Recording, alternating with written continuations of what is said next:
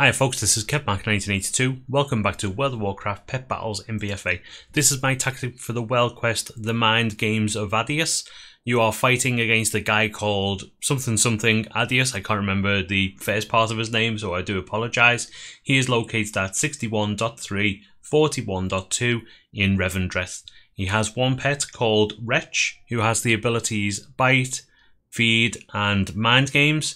Mind Games the one to watch out for and will be the reason why we are front loading or back loading, whatever way you want to say it, all of our damage into the our number three slot in our abilities. So we're going with the Iron Starlette, Pet Bombling, and G0R41 0N Ultra Tonk.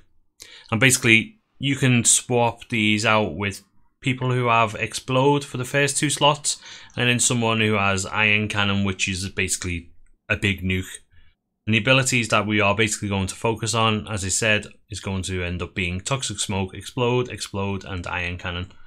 And I will show you why now. So let's jump into it. We're going to start off with Toxic Smoke.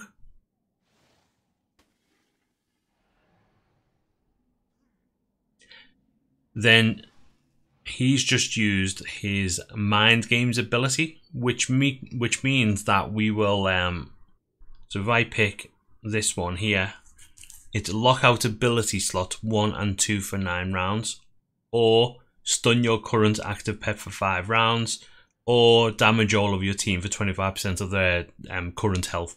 So we're going to go with lockout slot 1 and 2.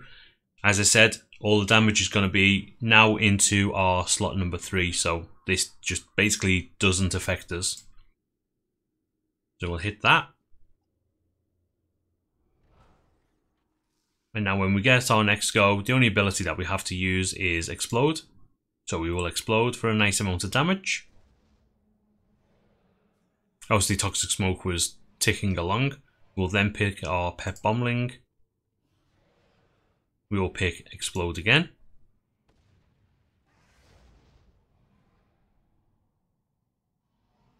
And then finally we will finish up with our Iron Cannon, which is just going to kill him off. And that's a nice, quick and dirty tactic to beat Addius the Tormentor. There you go, that's his name. Um, if you like this tactic, then please do leave a like, leave a comment, tell me what your tactic is. I think he's one of the those guys that you could probably beat fairly easily as long as you pick the right uh, abilities against them. And feel free to subscribe as well so that you are notified when my new uh, videos come out. Thanks for watching. See you next time. Bye bye.